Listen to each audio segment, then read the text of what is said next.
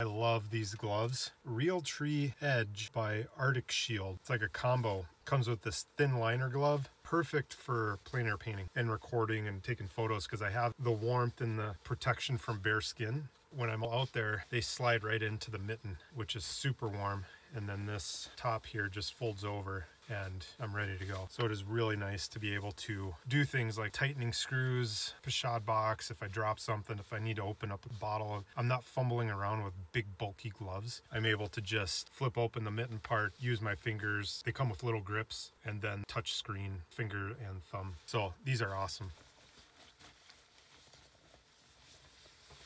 So I got a really thin layer that sits right up against my body. Then I got this uh, lightweight jacket, which is super warm. It's stretch, so it doesn't feel constricting at all. And then I went and bought this cheap, a big parka, which I bought it on clearance for 30 some dollars. So this kind of goes over everything. It also protects my jacket from paint. Then I got this little dealy that goes over my hat and neck. It's a neck warmer and it's a hood. And the reason why I like this is it it's like a beanie, but I'm also able to wear a brimmed hat and I can pull that down to block the sun. Otherwise I was stuck with, you know, some of those, you know, caps with the ear flaps and they just weren't warm enough. So I'm able to still wear a, a cap with the brim and be super warm with one of these.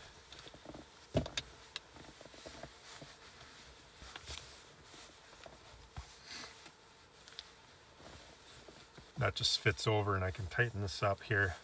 All right, let's do this.